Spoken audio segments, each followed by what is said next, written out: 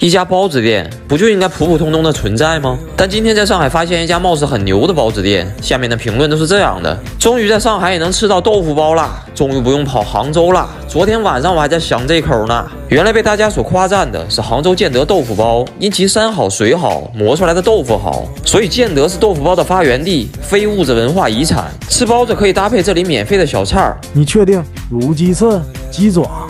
啊，搞错了，榨菜、剁椒和土豆丝。先来上一碗现磨的豆浆，好像是不太一样啊。这个豆浆怎么是这个颜色的？尽管已经凉了，依然很好喝，跟用豆浆机在家里磨出来的一个口感，有不少豆子的杂质，很浓。包子一共三种馅料，豆腐包必不可少，然后就是鲜肉，还有笋干。不过此时此刻没有笋干。尽管是大包子，能感觉出来这皮儿挺薄的，而且还有点黏，比较粘筷子。打开一看是不错啊，豆腐白、葱绿、焦红，这不跟传说中的一样一样的吗？有食欲吗？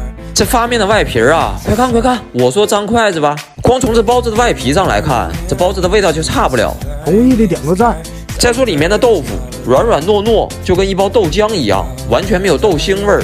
搭配着小葱辣椒，微辣口的味道一下就起来了。错不错，味道好极了。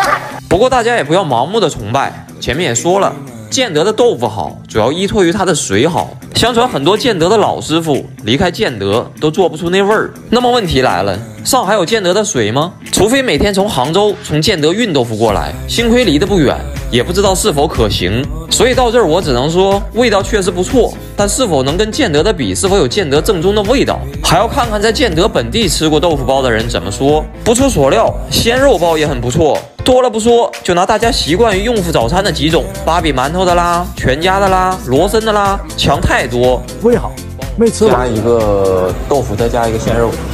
嗯。那就那就加一个豆腐吧。啊。你还说我两三个就能吃饱，我本来想加两个的。嗯。我说两到三个差不多了。三个没三个没吃饱，一个一个好，谢谢。剁椒也不错，不是很辣，很下饭。